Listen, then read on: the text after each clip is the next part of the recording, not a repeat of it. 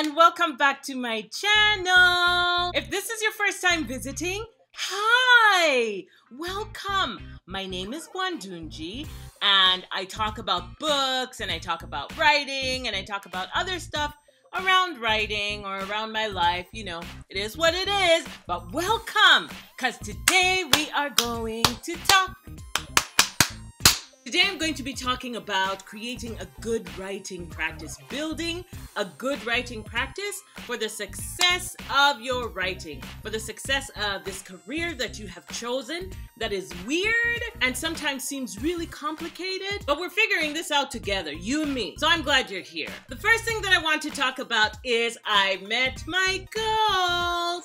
I know this wasn't something that I had shared with everybody, but my goal had been to get up 20 videos as fast as I possibly could so that I could have a bank so that new people like you, if you're new, could come and find out about me and about the things that I'm passionate about and could watch some of my videos. So I'm very pleased about that. I met that goal, smashed it.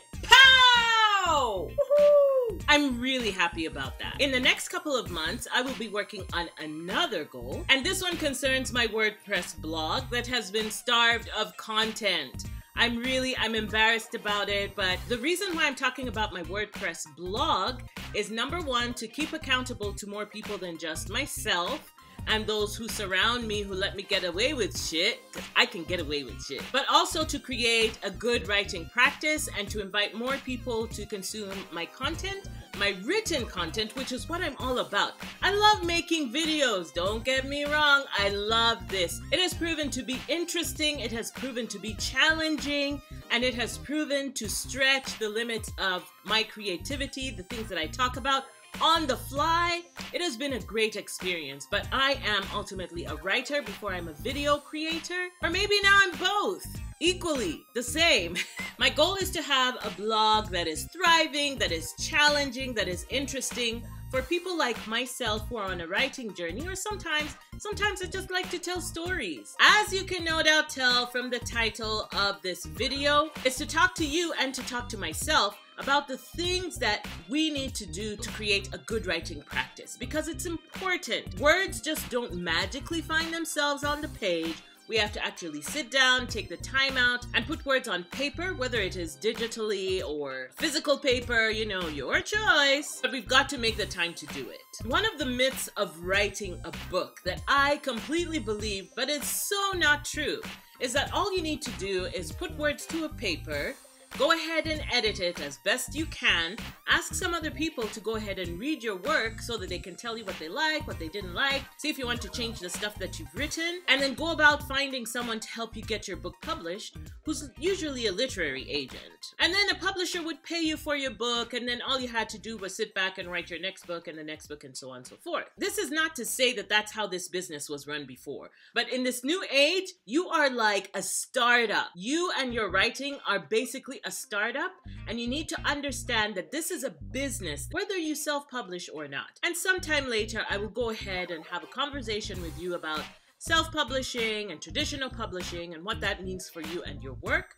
But the one thing that I found out is whether you self publish or not, you still have to understand this business of publishing and take whatever measures it is that you can to figure out where you fit in it, to figure out how you can work it so that you can be successful, which is what we're all looking for success. When I discuss some of these things about the business of publishing, when I find information, I put it out there and I create a video like this one, I am going to put them all together in a playlist that I will probably call the business of publishing. So this one will be the first one in a series of the business of publishing videos. The very first thing that is more important than anything else in this business is that you must have work.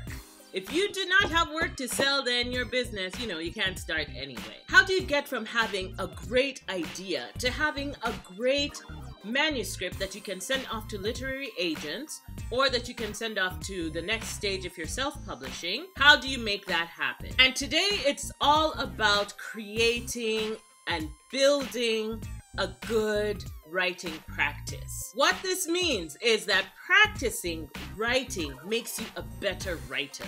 Practicing writing, putting time aside for yourself to write sectioning it off and telling everybody, look, I'm unavailable. I can't do anything for you because I am writing, and having them honor that time for you is of vital importance. With regards to building a good writing practice, I have some tips, and I'm going to share them with you and hope that they will help you as you write and help me as I write because practice makes perfect. This is a song my dad used to sing for piano practice. We were not very happy with him when he sang it. Practice makes perfect. Practice makes perfect. I guess if I practice, then better I'll be. No, Dad. No, we didn't enjoy the song. Not when we were practicing, but I see it. I see the value. So thank you. I have five different tips that I am going to share with you about building a good writing practice. The first one write every day. Every day.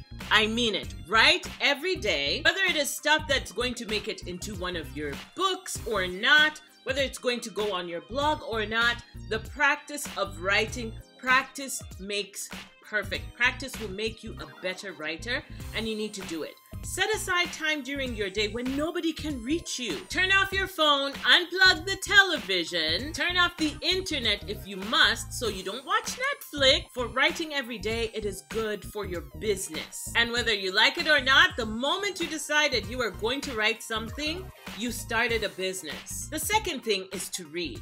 Read good books. Read bad books. Read books that have bad reviews. Read books that have great reviews. Read in genres that you are not used to, that you are not familiar with. Don't be afraid to mark your books on the inside with highlighters or pens or post it notes. Understand the reason why some of the books that you absolutely love, everybody hates, or the books that you absolutely cannot stand have great reviews. Read as many books as you can, set a goal for yourself, and consume other people's writing. It will help the neurons in your brain maybe spark differently and create new pathways so that your creative genius can expand. Number three, and this one is a challenge for me, is to create relationships with other writers. I am great with creating relationships on social media, on forums, with people that I have never met and will probably never meet. That is where my strength is. So there's an authors group here where I live but they meet on weekdays at 9 p.m. The reason to cultivate relationships with other writers is that they say interesting things that matter to you, that matter to your business. They can give you tips,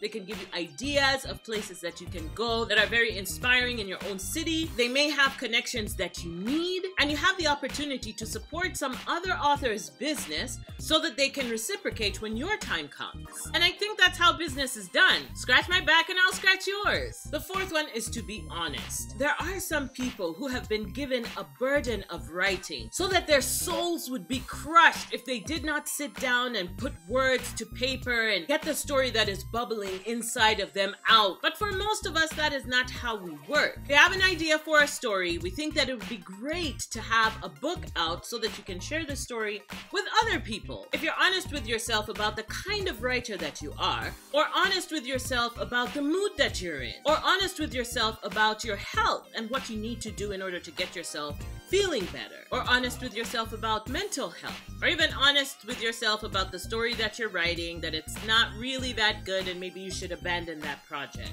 And finally, point number five be consistent. There was something our teachers in primary school used to say one by one makes a bundle. And that is so true with regards to having a writing practice. Even if you write only a paragraph at the time that you have set aside for yourself to write, the next day you write a paragraph. The next day you write another paragraph. And before you know it, your work will be complete. And while the pointers that I have shared with you, which I'm going to be using myself, are a great foundation for building a writing practice. They can basically work for almost anything that you are choosing to do that are part of your big goals of your big dream. Please don't forget to check out my blog. Again, it is bwandungi.wordpress.com. Come visit. So that was all I had for you today. Five tips to help you build a wonderful foundation for your writing practice. We are running businesses, y'all. We are running our own startups. Isn't it exciting? If there are any other tips that you think I should have included that I forgot, please go ahead and leave them in the comment section. I will be looking out for that. If you found this information helpful, like this video and please share this video with other people who may gain value from it. And don't forget to subscribe. As always, have a wonderful day, have a wonderful week, and I will see you next Tuesday. Bye!